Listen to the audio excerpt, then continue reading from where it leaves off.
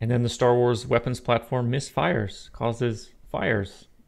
Let's watch. Top story Santa Barbara. 10,000 acres of wooded residential land were scorched in an instant when a laser cannon aboard the Strategic Defense Peace Platform misfired today during routine startup tests.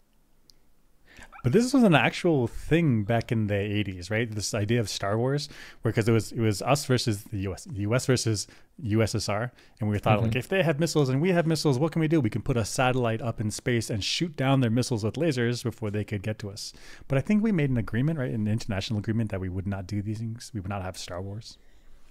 I don't know if it was an international agreement. Was it technically too challenging? I don't remember why it got shut down.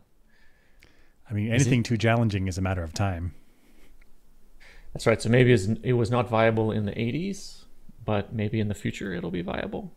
In fact, maybe in the future we would want it. For example, this laser, this laser could be super useful for colonizing a planet. Say you have a mountain, eh, like you're trying to colonize Mars, and you have this mountain or, or really like rocky, granular stuff, boulders, and you're like, I need a flat space so I can land my ship. I need a flat space so I can build the first colony. With these space lasers, you just melt everything down. And that's why it's a peace platform.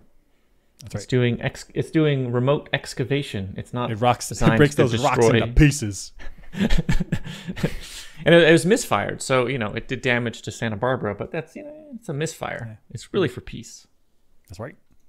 It could never be used against our enemies. I mean, we wouldn't want it to, but then all we have to do is not point it at them. That's right. It's for peace.